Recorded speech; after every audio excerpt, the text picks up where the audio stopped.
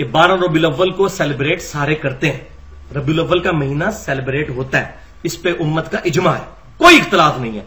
अहल सुन्नत के लवाने वाले तीनों ग्रोह, बरेलवी, देवबंदी, अहल हदीस और अहल तशीस, सब के सब नबी सल्लल्लाहु अलैहि वसल्लम के वलादत के महीने को सेलिब्रेट करते हैं। पूरी दुनिया के अंदर सीरत नबी कॉन्फ्रेंसेज नहीं होती। फजाइल मुस्तफ़ा सल्लल्लाहु अलैहि वसल्लम नहीं होती। आप सल्लल्लाहु अलैहि वसल्लम के वाकयात नहीं सुनाए जाते। मुख्तलिफ़ कॉन्फ्रेंसेज होती हैं, तमाम करवाते हैं। सबके सब करवाते हैं। यहाँ तक इजमा है, और इजमा हुज्जत है। अल मुस्तदल हाकिम में इंटरनेशनल अमरी के मुताबिक तीन सौ निन्यानवे नंबर हदीस है किताबुल इल्म चैप्टर में कि मेरी उम्मत कभी भी गुमराही पर जमा नहीं होगी। जब मेरी उम्मत इतफाक कर लेगी ना तो इजमा हुज्जत होगा। अस्सलाम वालेकुम दोस्तों, आपने देखा और सुना कि इस बात पर इजमा है। इजमा किन लोगों का है? आल सुन्नत का आल तशी का, आल हदीस का और देवबंद का। यानी चारों फिरके किसी बात पर मुतफिक हो जाए तो इजमा होता है। आपने सुना? और यही चारों फिरके। आल सुन्नत, दियोबंद, आल हदीस, आल तशी कहते हैं कि इंजीनियर मोहम्मद अली मिर्ज़ा गुमराह है। तो इसी के कानून के मुताबिक ये चारों फिरके अगर किसी बात पर मुतफिक हो जाए तो वो इजमा होता है। तो इसी कानून के मुताबिक मोहम्मद अली मिर्ज़ा गुमराह है। आल सुन्नत कहते हैं गुमराह है। आल तशी कहते हैं गुमराह है। आल हदीस कहते हैं गुमराह है। और देवबंद भी कहते हैं कि ये गुमराह है। तो इस बात पर इजमा हो गया कि मोहम्मद अली मिर्ज़ा गुमराह है और इस सदी का सबसे बड़ा फिराडिया और मक्कार है। अब इस बंदे पर जो इजमा हो चुका है, जो गुमराह है, किस तरह गुमराही फैला रहा है और फखर कैसे कर रहा है, ये भी सुनिए। ये अरसे से कहानी कराई हुई थी शेख अब्दुल कादर जलानी के सामने अल्लाह ताला एक बादल की शक्ल में ज़ाहिर हुआ, कहा, अब्दुल कादर, तू आज के बाद तुझे सारी नमाजें माफ़। ठीक है ना जी? बड़े फखर से सुनाया करते थे। तो अब्दुल कादर जलानी रहमत ने कहा कि वो नमाजें तो नबी को माफ़ नहीं थी, मुझे कैसे माफ़ हो सकती हैं?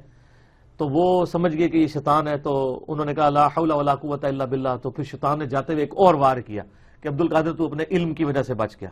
तेरे इस मुकाम पे पहुँचे हुए सत्तर औलिया अल्लाह मैंने वर्गला दिए थे। तुझे तेरे इल्म में बचा लिया। तो उन्होंने कहा, नहीं, मुझे अल्लाह के फजल ने बचाया। वो कहते सुबहान अल्लाह सर, अब इसकी इंजीनियरिंग हो चुकी है। इंजीनियर साहब के दुनिया में आने के बाद, दुनिया में छोड़े जाने के बाद।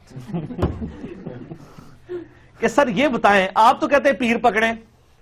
शेख अब्दुल कादिर जिलानी के लेवल के सत्तर लोगों को शैतान ने जो है जिन्हों कहते ना गोढ़े थले दे के टा लिया और दोजख में पहुँचा दिया। वो सत्तर गोसों के मुरीद किधर गए हैं? ये है इंजीनियरिंग जी दोस्तों, आपने देखा कि पीर पकड़े, हमें कहते हैं, आपको किसने कहा जी पीर पकड़े? आपने तो पीर पकड़ा था, फिर आपने छोड़ दिया। क्या वो पीर गुमराह था?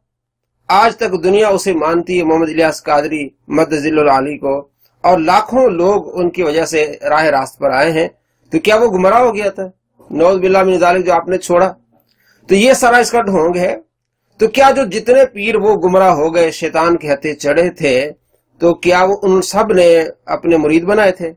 कि ये लाजमी आपको कैसे मालूम हुआ कि सब के सब जितने पीर थे या जो कुतुब थे, उन्होंने मुरीद बनाए हुए थे? और अगर कोई पीर गुमराह हो जाए तो क्या जो उसके मानने वाले हैं पीर का उन्होंने कलमा तो नहीं पढ़ा होता? वो तो अपना उसको पीर इसलिए मानते हैं कि वो सीधी राह दिखाता है।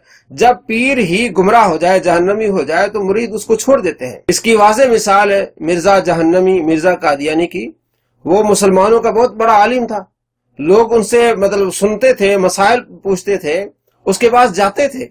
लेकिन जब वो गुमराह हुआ, सबने छोड़ दिया। थोड़े हैं जो उसके पीछे हैं। तो अगर ये बात मान ली जाए कि पीरों को इसलिए नहीं पकड़ना चाहिए कि ये गुमराह हो जाते हैं तो ये बात भी साबित हो जाए कि जितने मिर्ज़ा हैं, या खास तौर पर ये मिर्ज़ा जेलमी इसको बिल्कुल नहीं सुनना चाहिए।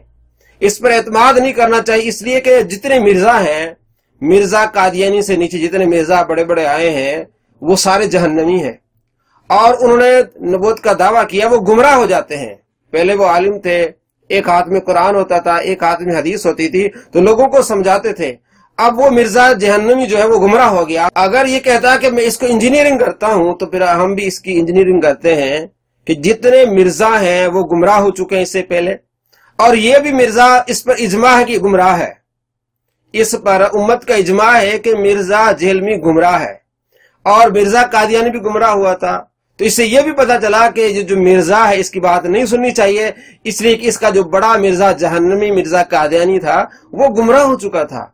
इसलिए इसकी बात पर कोई एतमाद नहीं करना। ये दस साल पहले, पंद्रह साल पहले ये कह रहा था कि मैं सुन्नी हूँ और खत्म दिलाता था, मिलाद कराता था और कहता था, जितने दूसरे फिरके वो सारे गुमराह हैं। अब ये कहता कि मैं ठीक हूँ, सब फिरके गुमराह हैं।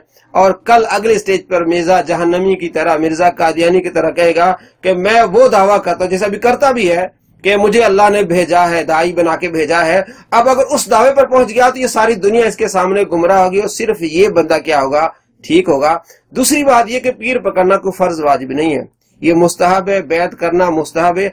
आप सल्लल्लाहु अलैहि वसल्लम ने सहाबा कराम अलवान से मुख्तलिफ़ मौके पर बैत ली है। उलमा कराम, बुजुर्गान दीन जो बैत लेते हैं, वो अहद करवाते हैं कि आपने नमाज़ पढ़नी आपने रोजा रखना है।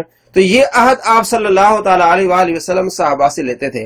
पुराने पाक में इसका ज़िक्र सुर मुमतहना, आयत नंबर बारह आप पढ़ के देखें कि आप सल्लल्लाहु अलैहि वसल्लम ने सहाबिया से अहद लिया।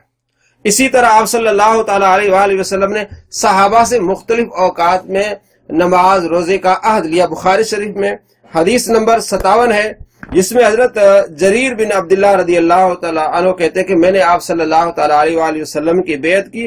तो आप सल्लल्लाहु अलैहि वसल्लम ने इस बात पर मुझसे बेत ली कि आपने नमाज़ पढ़नी है, जक़ात देनी है और हर मुसलमान की आपने खैर खाई करनी है। तो आप सल्लल्लाहु अलैहि वसल्लम सहाबा कराम अलमरदवान से बेत लिया करते थे। इसी तरह मुस्लिम शरीफ में हदीस है 2403 आप सल्लल्लाहु अलैहि वसल्लम के साहबी औ बिन मालिक रदी अल्लाह कहते हैं कि हम आप सल्लल्लाहु अलैहि वसल्लम की बारगाह में गए। हमने आप सल्लल्लाहु अलैहि वसल्लम की बेत की और उसके बाद आप सल्लल्लाहु अलैहि वसल्लम ने इशाद फरमाया, क्या तुम मेरे हाथ पर बेत नहीं करोगे? हमने अर्ज़ किया हम बेत कर चुके हैं। फिर दोबारा आप सल्लल्लाहु अलैहि वसल्लम इरशाद फरमाया, क्या तुम मेरे हाथ पर बैत नहीं लोगे? हमने अर्ज़ किया हम बैत कर चुके हैं। तीसरी मरतबा आप वसल्लम फरमाया, क्या तुम बैत नहीं करोगे? हमने कहा, जी हाँ बिल्कुल हम करते हैं। तो आप सल्लल्लाहु वसल्लम ने इस बात पर बैत ली कि, अंत अब्दुल्ला वाला तुशरिकु भी सही अल्लाह की बात करनी और अल्लाह के साथ किसी को शरीक नहीं ठहराना। वसलातुल खम्स, और पाँच नमाजें पढ़नी है। अल्लाह तबारक वाली की इताद करनी है। और आप सल्लल्लाहु अलैहि वसल्लम ने आहिस्ता से कहा कि अल्लाह के सिवा किसी से मांगना नहीं है। तो आप सल्लल्लाहु अलैहि वसल्लम ने नेक अमाल पर बेत ली। तो उसके बाद साहबा कराम अलवान का दौर आया। वो खुलफा बने। उन्होंने तमाम आवाम से जो है बेत ली। और वो हुक्मरान थे, हाकिम थे, और उन्हें बेत लेते थे कि तुमने नमाज़ पढ़नी और हर लिहाज से वो उनको कंट्रोल करते थे। खिलाफत का जमाना जब खत्म हुआ, लोग अपनी अपनी राहों की तरफ़ निकल पड़े और गुमराही की तरफ़ जाने लगे तो कराम और बुजुर्गान दीन ने आप सल्लल्लाहु की उस सुन्नत को ज़िंदा किया।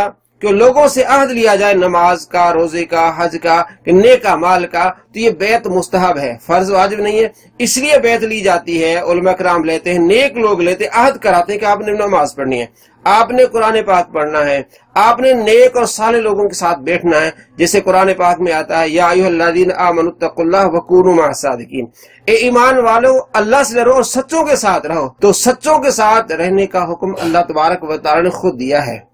तो जो नेक लोग होते हैं, वो बेत लेते हैं। जहाँ तक गुमराही की बात है, अगर मिर्ज़ा जहन्नमी गुमराह हो गया इसका मतलब ये नहीं होगा कि हर जो बाद में आने वाला मिर्ज़ा होगा, अगर वो मुसलमान होगा तो उसकी बात न सुने। अगर ये बात मान ली जाए कि अगर पीर गुमराह हो जाते, इसलिए पीर नहीं पकड़ना चाहिए तो ये बात भी पक्की है कि फिर इस मिर्ज़ा को नहीं सुनना चाहिए। इसलिए कि इसका जो बाबा बड़ा मिर्ज़ा था, मिर्ज़ा जहन्नमी, वो भी गुमराह हो चुका था और उसने नबुवत का दावा किया था। अस्सलाम वरहमल वबरकातुहू